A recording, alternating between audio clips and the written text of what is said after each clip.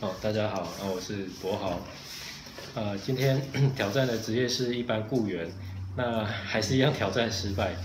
呃，今天主要感谢的就是陈主办人冠军刚跟苏玉姐，感谢他们办这次的活动，让我可以参加这样子有意义的活动。还有一一个要感谢的是小伦，他在游戏中其实呃为我解惑了许多，非常感谢他这三位人。那今天一开始呢，也先提醒自己。目标是什么？不要掉到游戏中。虽然是这样告诉自己的，可是依旧没有跳出老鼠圈。在今天的活动中呢，一开始就踏到生小孩这一个，然后不久又失业了，而且 今天失业的次数大概算一算有快十次了吧，还是十次了。呃，由于上次的游戏中学到冠军哥说了一句“缺什么补什么”。那所以这次呢，我就秉持这个原则在练习。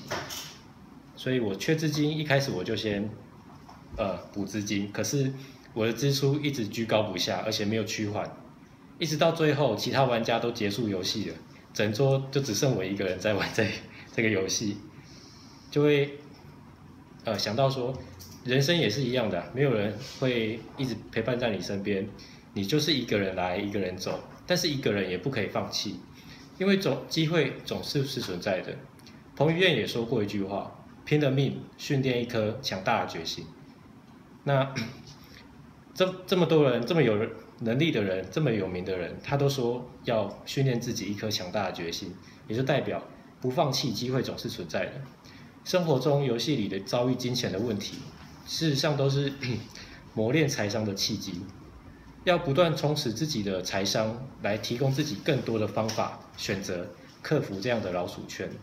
啊，今天的分享就到此，谢谢。